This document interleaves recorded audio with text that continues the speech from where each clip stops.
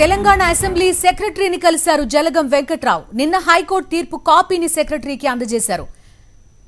మరిన్ని వివరాలు అందిస్తారు మా ప్రతినిధి కిరణ్ భూపతి. కిరణ్ భూపతి చెప్పండి లాంఛనంగా భావించొచ్చా? ఇంకేమన్నా టెక్నికాలిటీస్ ఉంటాయా ఇష్యూకి సంబంధించి?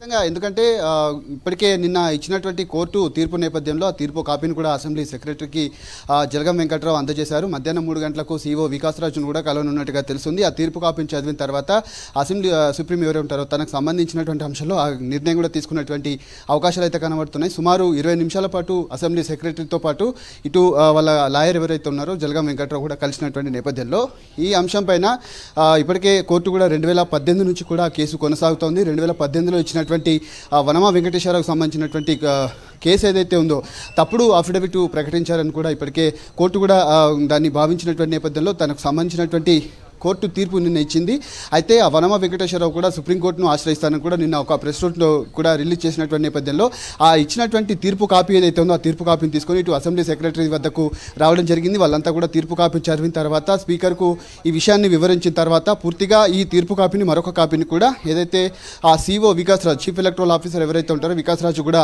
అందజేసిన తర్వాత దీనిపైన ఒక క్లారిటీ అయితే వచ్చేటువంటి అవకాశాలు అయితే కనబడతా ఉన్నాయి. మరొక రెండు రోజుల్లోనే తాను ప్రమాణ స్వీకారం చేసేటువంటి అవకాశాలు అయితే మనకు స్పష్టంగా అర్థమవుతుంది. కిరణ్ భూపతి ఎవరైనా ప్రముఖులు కనిపించారా? జలగం వెంకట్రావుతో పాటు ఆయన మాత్రమే వచ్చారా? బీఆర్ఎస్కి సంబంధించిన నాయకులు ఎవరైనా ఉన్నారా ఆయనతో?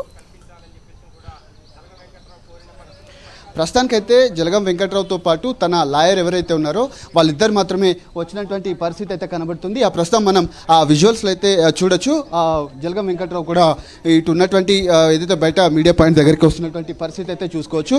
ప్రస్తుతం అసెంబ్లీ సెక్రటరీతో తో ఎవరైతే జలగం వెంకట్రావు కావచ్చు అంతేకాకుండా పూర్తిగా తన లాయర్ ఎవరైతే ఉన్నారో నిన్న కోర్టులో వాదనలు వినిపించినటువంటి లాయర్ ఎవరైతే ఉన్నారో వాళ్ళిద్దరు కూడా వస్తున్నటువంటి పరిస్థితి అయితే మనం చూసుకోవచ్చు. వాళ్ళు కూడా ఇప్పుడు మీడియాతో మాట్లాడబోతా ఉన్నారు. ఈ నేపథ్యంలోనే తను కూడా మాట్లాడేటువంటి అవకాశాలు అయితే కనబడుతున్నాయి. ఈ కోర్టు తీర్పు కాపీని అసెంబ్లీకి సెక్రటరీ కూడా అందజేయబోతా ఉన్నారు. అందజేసిన తర్వాత స్పీకర్కు ఆ, ఆ స్పీకర్కు తాను కూడా ఏర్పాటు చేసినటువంటి పరిస్థితి అయితే కనబడతా ఉంది. ముఖ్యంగా ఈ దీనికి సంబంధించి వనమ వెంకటేశ్వరరావుకు సంబంధించినటువంటి అంశంలో రెండు వేల పద్దెనిమిదిలో తాను తప్పుడు అఫిడవిట్ ప్రకటించారని కూడా చెప్పారు.